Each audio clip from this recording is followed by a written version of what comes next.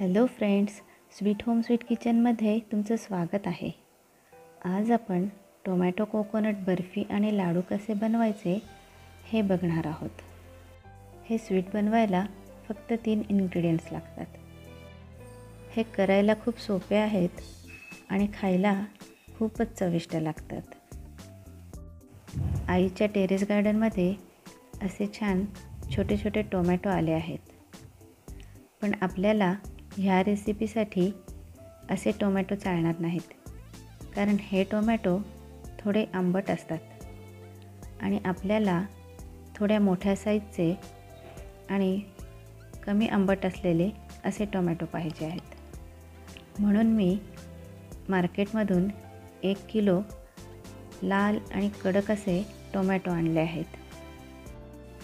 हे टोमॅटो स्वच्छ धुवून आपण त्याच्या फोडी केल्या आणि सालासहित मिक्सरच्या भांड्यात वाटून घेतले आहेत. शिजवण्याआधी आपण ही टोमॅटोची प्युरी गाळून घेणार आहोत. म्हणजे त्यात जर काही टोमॅटोचे मोठे तुकडे राहिले असतील तर ते वेगळे होतील. ते तुकडे आपण परत एकदा मिक्सरमध्ये वाटून घेणार आहोत. सगळी प्युरी गाळून झाल्यानंतर मोठे राहिलेले तुकडेही वाटून आपण ह्यात घातले आहेत. आता यात दोन कप डेसिकेटेड कोकोनट आणि अर्धा किलो गूळ घालून सगळं व्यवस्थित मिक्स करून घेऊ.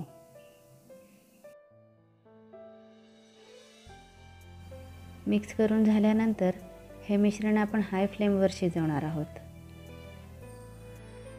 तुम्ही यात डेसिकेटेड कोकोनटऐवजी नारळ किसून घालू शकता आणि गुळाऐवजी साखर वापरू शकता.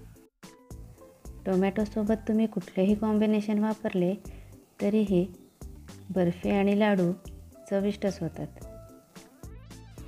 तुम्ही आणलेले टोमॅटो कितपत आंबट आहेत ते बघून गुळ किंवा साखरेचे प्रमाण कमी जास्त करू शकता. गूळ पूर्ण वितळून मिश्रण चांगले उकळायला लागले की त्यावर झाकण ठेवून आपण शिजवणार आहोत. कारण उकळताना ते आजूबाजूला उडते. हे मिश्रण अजून पातळ आहे. त्यामुळे हाय फ्लेमवर शिजवले तरी ते करपत नाही. पण जेव्हा ते घट्ट व्हायला लागते तेव्हा अधूनमधून ते ढवळावे लागते. मिश्रण थोडे घट्ट झाले की गॅस लो फ्लेमवर करून एखाद्या मिनटाने त्यावरचे झाकण काढायचे म्हणजे ते फार उडत नाही. आता हे मिश्रण व्यवस्थित ढवळून घ्यायचे. आणि परत त्यावर झाकण ठेवून लो टू मिडियम फ्लेमवर शिजवायचे. हे मिश्रण घट्ट होईपर्यंत असेच अधूनमधून ढवळले की ते खाली लागत नाही.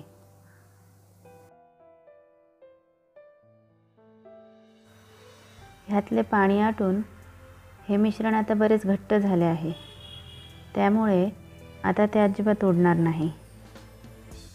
आता झाकण न ठेवता असेच अधूनमधून ढवळत घट्ट गोळा होईपर्यंत आपण ते शिजवणार आहोत. मिश्रण लवकर घट्ट होण्यासाठी आपण गॅसची फ्लेम हायवर करून मग ते शिजवत आहोत. एकदा ह्यातले पाणी आटले की मग नंतर मिश्रण घट्ट व्हायला फार वेळ नाही लागत. मिश्रण आता चांगले घट्ट झाले आहे. ते आपण थंड करून घेणार आहोत. थंड झाल्यानंतर ते अजून थोडे घट्ट होईल. तुम्ही बघू शकता थंड झाल्यावर मिश्रण किती घट्ट झाले आहे. पण आपल्याला बर्फी करण्यासाठी अजून थोडे कोरडे मिश्रण लागणार आहे. म्हणून ह्यात आपण दोन ते तीन चमचे पिठी साखर घालणार आहोत. पिठी साखर घातल्यामुळे ह्याच्या वड्या व्यवस्थित कट करता येतात. पिठी साखर आता व्यवस्थित मिक्स झाली आहे. हे मिश्रण आपण आता एका बटर पेपरवर काढून थापून घेऊ आणि नंतर त्याच्या वड्या कट करू. मी याआधी टोमॅटो पोहे या ब्रेकफास्ट रेसिपीचा व्हिडिओ अपलोड केला आहे. त्याची लिंक मी डिस्क्रिप्शन बॉक्समध्ये दिली आहे. ती रेसिपी पण तुम्ही ट्राय करून बघा. तुम्हाला नक्की आवडेल. वड्या कट करून झाल्या की त्या सेट होण्यासाठी तीस मिनिट आपण फ्रीजमध्ये ठेवणार आहोत. तीस मिनटानंतर आपण ह्या वड्या प्लेटमध्ये काढून घेऊ. ह्या वड्या थोड्या ओलसरच असतात. तुम्हाला अगदी कोरड्या वड्या हव्या असतील तर हे मिश्रण कोरडं होईपर्यंत त्यात पिठी साखर मिक्स करायचे. वड्यांचा नॅचरल कलरच इतका छान आहे की त्याला गार्निशिंगसाठी दुसरं काही लावायची गरजच नाही. वड्या काढल्यानंतर आजूबाजूचे जे मिश्रण राहते त्याचे आपण लाडू बनवणार आहोत. त्याआधी आपण हाताला थोडे साजूक तूप लावून घेऊ म्हणजे लाडू वळताना मिश्रण हाताला चिकटणार नाही.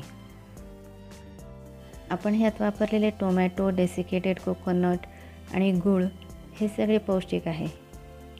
आणि हे बर्फी आणि लाडू इतके सॉफ्ट होतात की घरातली लहान मुलं आणि आजी आजोबाही अगदी आवडीने खातील. आता ह्या लाडूंना आपण डेसिकेटेड कोकोनटनी कोटिंग करून घेऊ. असेच आपण सगळ्या मिश्रणाचे लाडू करून घेऊ.